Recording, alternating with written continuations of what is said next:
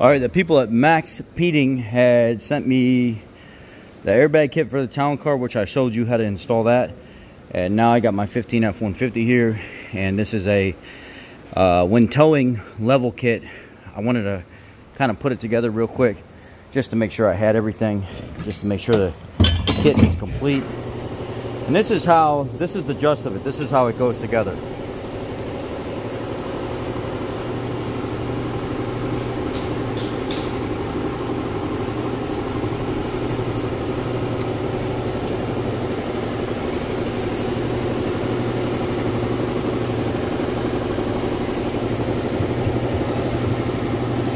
Cup with the long bolt here. So it says one, they're marked inside, right and left, or in the top, like here. Or bottom, I should say. Left. And this one says right. Now, you know the messed up part about this is, I am telling you in the beginning of the video, they're marked left and right, and later on in the video, I actually make the mistake and put them on the wrong side. And I'll show you what they look like on the wrong side. Now I can start taking those back apart, get my truck up in the air, get my bump stop out of here, which right there, take that out. Now in the middle of that bump stop is a 13 millimeter bolt that holds that assembly in. So you're gonna need a, what I did was I used a half inch drive long 13 socket with a half inch drive universal and about a 12 inch extension and an impact. And I pulled it right out. You get clamps, one goes on each side. You get a roll of airline you get all your mounting hardware. You don't get an E63 AMG V12 twin turbo. This thing is super sexy. Oh no, SL65, sorry, AMG V12 twin turbo, not E63, SL65. Big difference. I made a huge mistake there. All right, I took 13 millimeter, took the bump stop out of here, and then I took the factory factory bolt. I took the factory bolt, cleaned it up some. I put the mount up here loose, just kind of hanging it like so. Now what I'm actually going to do is I'm actually going to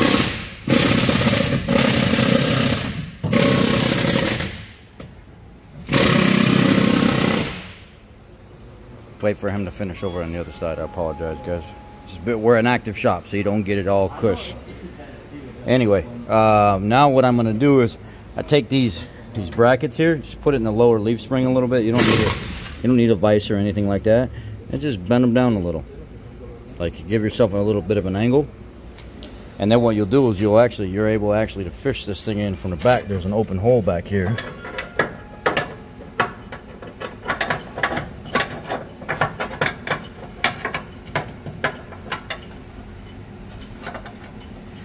there you go. You got your hole right there. You can line that up and then you can do the same thing on the other side. Let me show you what the hole looks like. Right there. See I got one in now I got to get the other one in and I'm kind of sitting here trying to align it and fight it at the same time. It can be a bear. It can be a bear but you just got to work it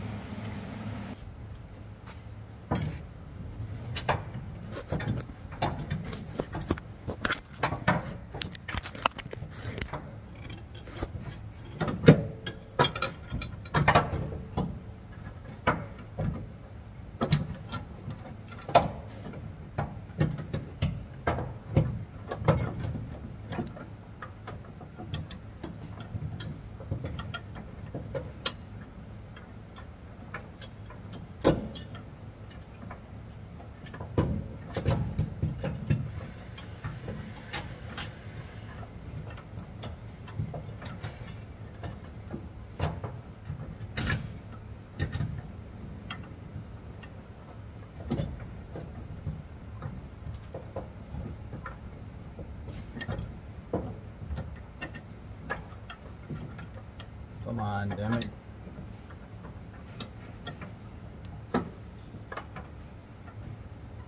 There we go.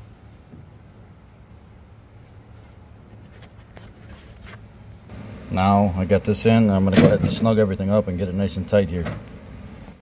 Well, here it is installed. It'll line back up once we get it on the ground. but I had to move these to the forward mounting points to get it to sit better.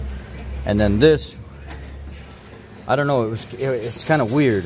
I think this bracket, I noticed something that I did, and I'm gonna admit it and not edit it out. This is the left side, not the right side. We're working on the right side. I gotta change this bag out real quick. The bottom, I mean. Okay, it's done. Everything's back up. Gave you a little bonus in this video. Show you what it looks like. There's the bag install. I got it sprayed with surface shield, all the bolts, the correct the connections, the frame. It's not completely, completely done, but 95% done. Everything that I could spray that needs to be sprayed. You guys said you wanted to see a fluid film video. Well, here it is, fresh and wet. And you see the angle of that how I realized I had that perch the wrong way. One says left, one says right. And that's what I realized. Oh shit, that bag is not sitting straight up and down like it's supposed to. Do I got the wrong one? Then I looked at the bottom right there and I can see right by that bolt where it goes through. and this part right here, pay attention to the double nuts that are on the U-bolts because the way they make the U-bolts for this truck, they make them, they're too long with no, the thread doesn't go all the way through. So they should have put more thread on the U-bolts and they didn't. So when you go to put the nut on without the spacers that I put in there, those extra, I think they're like 5 eighths nuts. They're too big for, I just use them as spacers so there's something for them to clamp down against. Um, if you just put them on regular, they bottom out and they'll just pop and they'll strip out the threads. So you have to put spacers on those U-bolts or else it won't work. It shows uh, left and right and I was like, dang it, I got the wrong one. So what I did was I ran my airline from the top. You see how the airline goes up? Goes over the bottom of the, the truck up there, through the ribbing, comes to the back. And there's actually two bolt holes right here. I drilled one of the bolt holes out. I ran my fittings through it. And then you can see, right there. I hit it.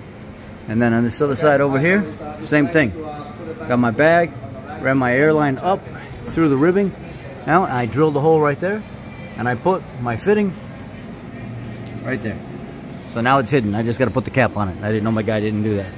But anyway, here's the underside of the truck.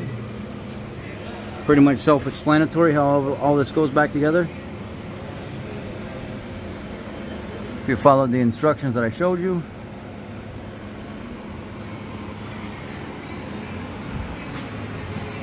Did the whole truck.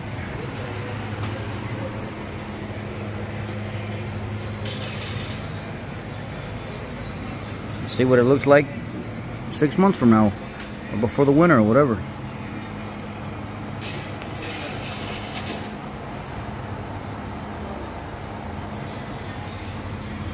And there you can see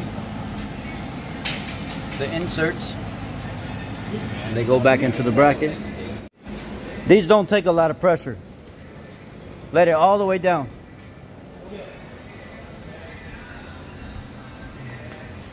You see how I put them on an angle and I put the lock nut on this one. And this one over here, the way I did it, it didn't need a lock nut. I was able to get, get it to actually thread into the threaded area right there uh, by just drilling it out a little bit. Anyway, it worked out. You see that little dimple there and the dimple there, they're almost identical. This one's a little closer. Let's see what happens. Go ahead.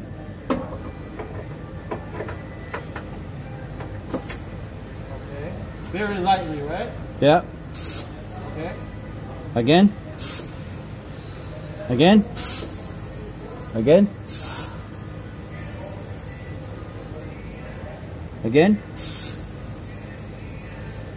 Again. All right. Uh, now take the airline off of the air chuck. Okay. Take it off. And now pull the trigger on the air chuck to release the air and it goes back down. Now let's check the other side as well. And now we are over on the passenger side and I'm going to check for leaks and make sure everything airs up fine and lifts and does what it's supposed to. And you're ready?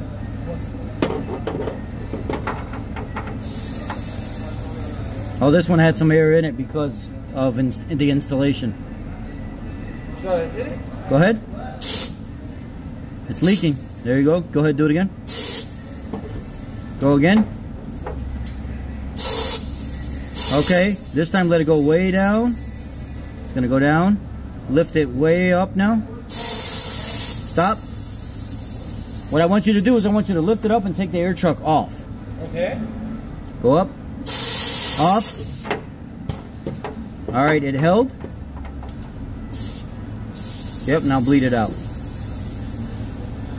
All right, so we're good. And we are finally finished. Y'all have a great night.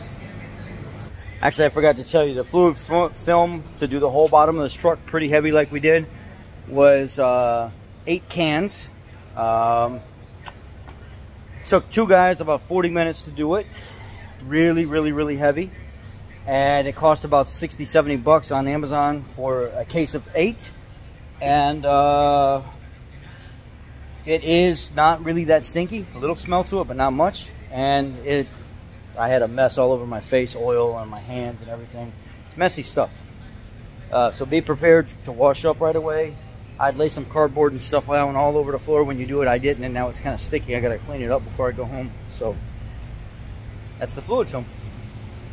Uh, the, my first first thought is fluid film covers very well, but it's very messy. Uh, if I compare it to the spray of Surface Shield, I prefer the way Surface Shield sprays because I feel like it's a little cleaner. It lays out better. The fluid film is real heavy and gobby and just kind of gets all over.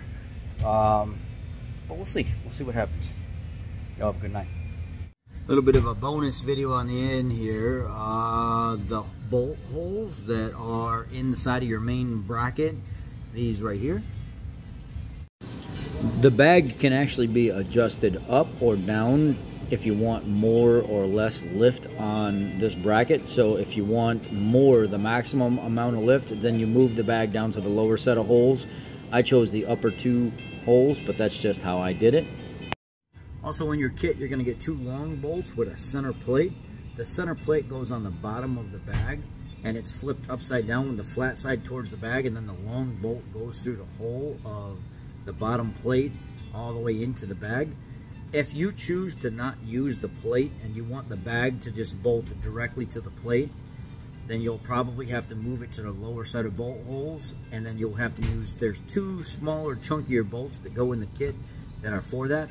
I just kept it the way it was, put the plate on the bottom, built everything on the top, ran my bolt through with my cup underneath it, and uh, yeah, bolted it up like you see in this video and I didn't use the other two bolts. And then there's four washers for something I don't know what they're for. Um, I did not use the four washers because they don't fit anything in the kit that I'm aware of. And there's a series of there's a number of zip ties. I didn't need the zip ties because of how I routed it and yeah uh, that's all I have for this video. Sorry to keep coming back but I just think about things and I'm like oh, I'm gonna add that in there real quick. So y'all be blessed